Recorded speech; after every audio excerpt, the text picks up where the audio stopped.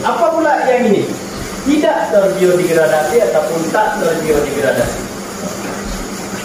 Baik, analisa.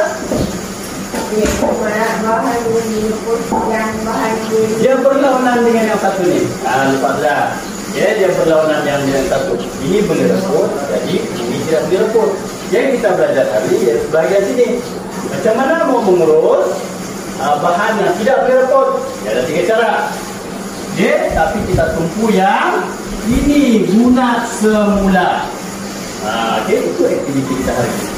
Aktiviti kita hari ini adalah mengguna semula bahan yang sudah habis Nah, sudah, uh, sudah sudah kita guna dan kita mau guna semula dengan tujuan yang lain. Contoh,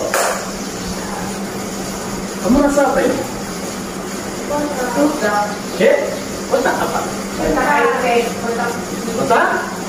Oh, hebat. Kau ada satu di rumah tak? Okey, ini adalah kotak uh, tab tablet yang baru dibeli. Tapi sekarang kamu rasa dia jadi apa? Masih ada tablet ke dalam? tidak Apa yang kita boleh buat dengan, ini? bangun duit Banyak kan?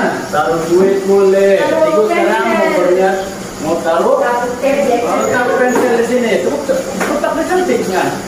Nah, itulah konsep guna semula daripada berfungsi uh, berfungsi lain kita guna semula untuk fungsi yang lain. Ada banyak contoh ya? Ada banyak contoh lagi dan itulah yang kita akan guna semula ataupun itulah yang akan kita belajar hari ini.